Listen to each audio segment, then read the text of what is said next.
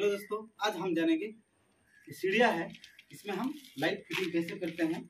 ये to model metal box है और ये डीप बॉक्स है। टू मॉडल मेटल बॉक्स हम कहाँ पर फिटिंग करेंगे? कितना लेवल में करेंगे? डीप बॉक्स है, इसको भी हम कितना लेवल में? आपका इस वीडियो में बने रहे ना मैं आपको समझा रहा हूँ। इंची टेप है। ये इंची टेप को हम दीवार में ऐसा पहले नाप लगा लेना है कि एक फिट यहाँ पर चौक से मार्क लगा देते हैं। ऐसा मार्क लगा दिए। टू मॉडल मेटल बॉक्स से हम दीवार में ऐसा बराबर करके यहाँ पर मार्क कर लेंगे। कुछ इस हिसाब से।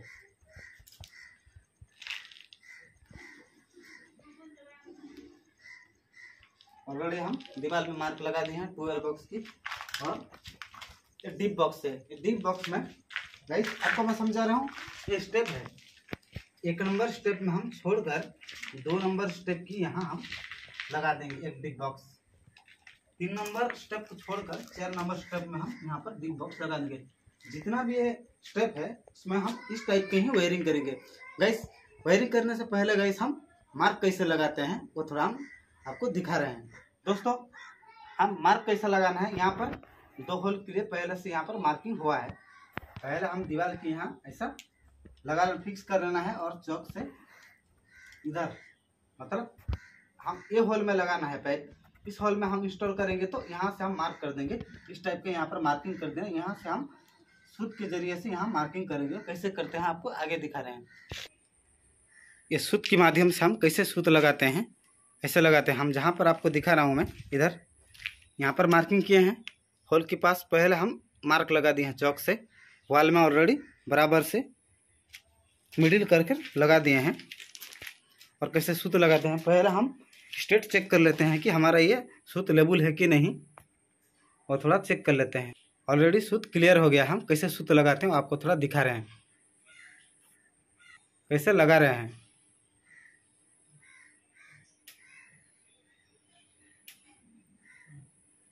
आप इस हिसाब से सूत लगाए ताकि आपको अच्छा से मार्क पता चले अच्छा से दिखाई दे। राइट साइड के एक मार्क हम पहले से लगा दिए हैं और लेफ़्ट साइड में एक, एक मार्क लगाना है।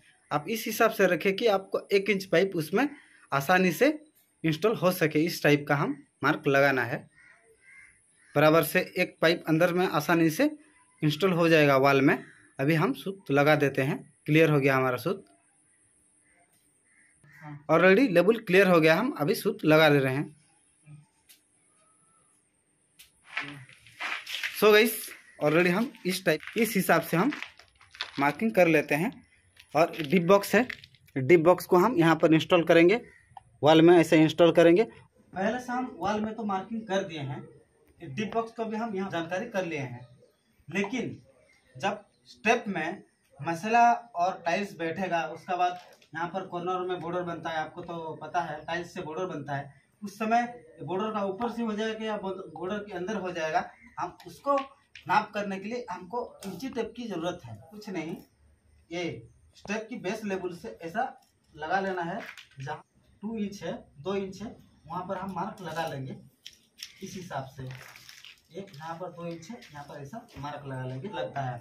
यहाँ पर सिक्स इंच ही है बॉर्डर लगेगा। हम यहाँ से सिक्स इंच में मार्क लगा देंगे। यहाँ से मार्क लगा दिए उसके बाद सिक्स इंच से यहाँ पर दो इंच में मार्क लगा देंगे। ये डिप जंक्शन बॉक्स है, कर लेबुल। ऐसा इंस्टॉल होगा।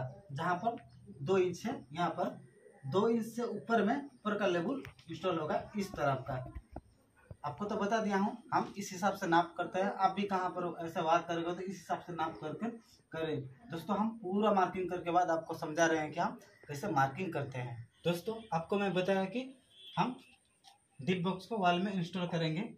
आपको पहले बताया हूँ ये बेस से दो इंच दो इंच से छः इंच छः इंच से दो इंच हम टोटल एट इंच में लगाए हैं जॉनसन डीप बॉक्स और सभी में ऐसे मार्किंग लगा दिए हैं।